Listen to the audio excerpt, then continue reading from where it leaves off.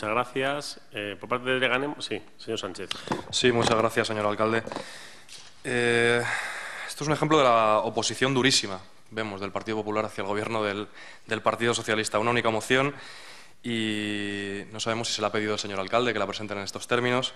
En fin, esto es un ejemplo de eso que comentaba el señor Recuenco sobre Grecia, precisamente. El tipo de obras faraónicas, como se hicieron en los Juegos Olímpicos en el caso griego, ejemplo de la época de la burbuja inmobiliaria y ejemplo del modelo de gestión neoliberal que está llevando a la mayoría social de nuestra ciudadanía a padecer una profunda crisis y a pagarla es un ejemplo de, ello, pero claro, que vamos a esperar de un partido cuyo presidente y presidente del Gobierno el otro día comentaba que el 90% de la, de la, deuda griega, ¿no? que es como si en España debiésemos 900.000 millones, que qué barbaridad lo de Grecia, cuando España debe 1.046 billones con B. El, mismo señor presidente del Partido Popular y el, presidente del Gobierno, protagonista del rescate a la banca, con la inestimable colaboración del del PSOE y que admite ahora que perderemos el 72%. Este es el modelo que en el caso griego, ya que usted, y ustedes lo mencionaban, ha llevado durante cinco años al desastre que ustedes quieren achacar a cinco meses, frente a cinco años, de gobierno de Sirisa. Pero vamos a los, contenidos de la cuestión de, de Leganés Norte. Decíamos que era un modelo perfecto del, del tipo de obras faraónicas ejemplo de la crisis. Un proyecto inicial de 15,86 millones de euros.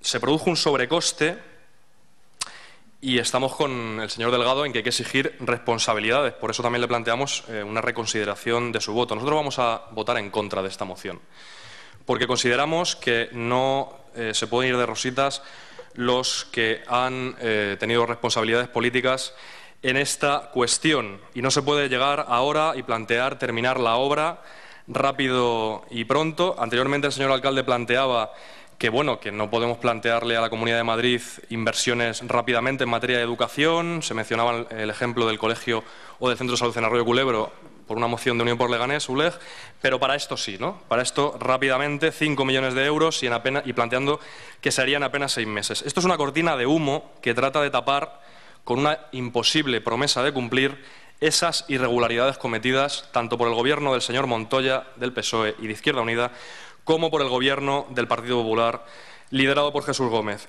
Y es que además, respecto a los 5 millones de euros, hay informes de los propios técnicos municipales que lo cifran en 6,37 millones de euros.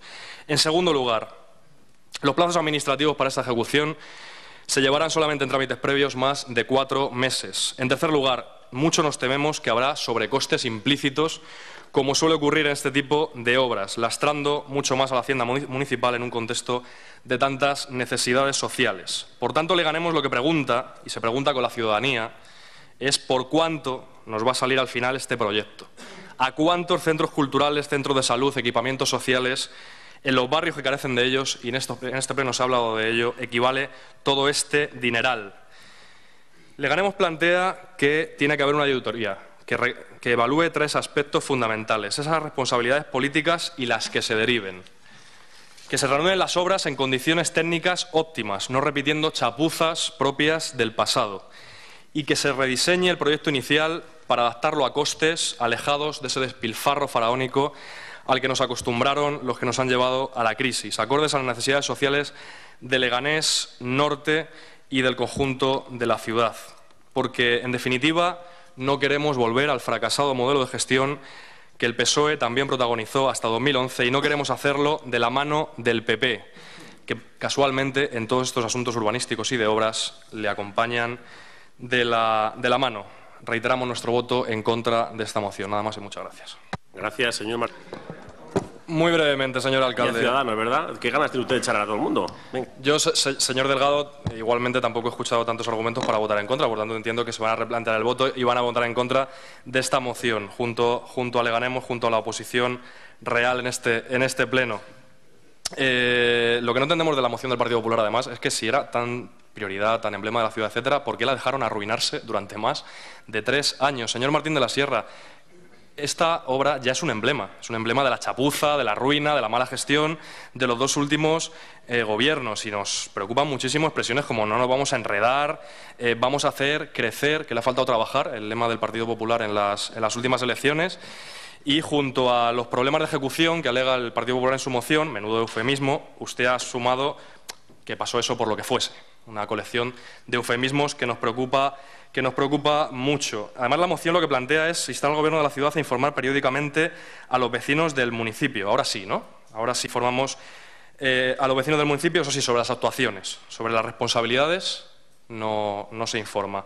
Por lo tanto, no podemos eh, votar a favor de esta moción Instamos nuevamente a que se hagan las cosas bien, se haga una auditoría, se replantee eh, la, obra, no se vuelvan a cometer chapuzas y no lastremos tanto a la hacienda municipal como a las necesidades sociales que tiene tanto el barrio de Leganés Norte como nuestra ciudad. Y la opinión del barrio de Leganés Norte señores del Partido Popular y también señores del Partido Socialista, revisen los datos electorales de las, últimas municipales y también la conocerán particularmente sobre esta, sobre esta cuestión. Y aclárennos, por favor, si estamos hablando de 5 millones de euros o estamos hablando de 6,37, tal y como plantean los informes de los técnicos municipales. Nada más y muchas gracias. Hasta que.